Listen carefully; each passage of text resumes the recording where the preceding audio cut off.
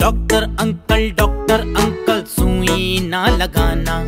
सुई से तो डरता है सारा जमाना। क्या आपको अच्छा लगता है हमको यूँ सताना?